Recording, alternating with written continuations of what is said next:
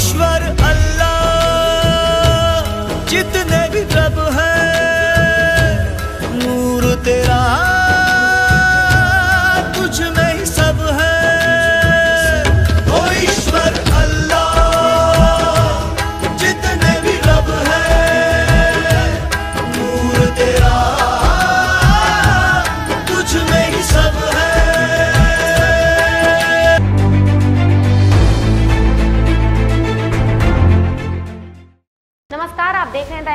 हूँ आपके साथ दीपाली माथुर राजस्थान के मुख्यमंत्री अशोक गहलोत जनता की सेवा में इस कदर लगे रहते हैं कि उन्हें खुद का भी ध्यान नहीं रहता है।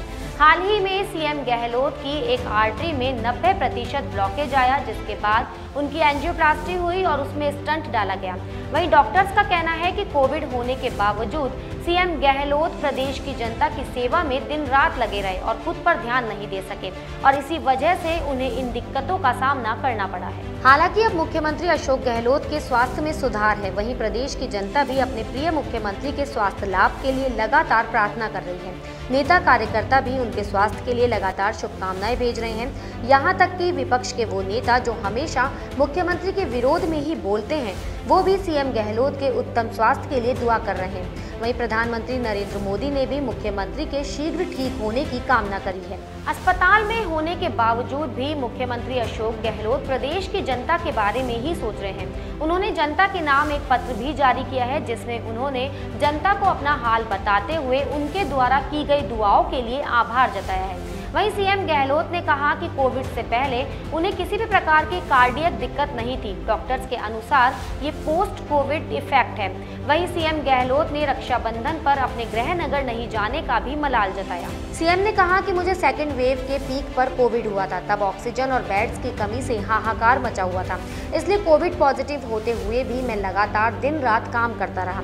डॉक्टर्स की सलाह के मुताबिक ठीक तरह से आराम नहीं कर सका।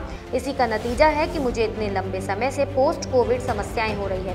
यही कारण है कि पिछले कई दिनों से मैं चाहकर भी प्रदेश की जनता के बीच नहीं जा पा रहा हूँ। मुख्यमंत्री ने अस्पताल से भी जनता से कोरोना प्रोटोकॉल का पालन करने की अपील की है। सीएम ने कहा कि कोरोना प्रबंधन में राजस्थान का देश विदेश में मान सम्मान बढ़ा है। इसी के साथ उन्होंने कोरोना के विरुद्ध लड़ाई में राजस्थान को स्टेट मॉडल बनाने का संकल्प भी लिया। मुख्यमंत्री अशोक गहलोत इस वक्त अस्पताल में हैं और अपनी बीमारी से जूझ रहे हैं, लेकिन ऐसे में भी उन्हें सिर्फ़ और सिर्फ़ राजस्थान और राजस्थान वासियों की चिंता सता रही है। सीएम गहलोत ने अस्पताल से भी प्रदेशवासियों से कोरोना प्रोटोकॉल की पालना करने की अपील की है ताकि प्रदेशवासी इस महामारी से बच सके।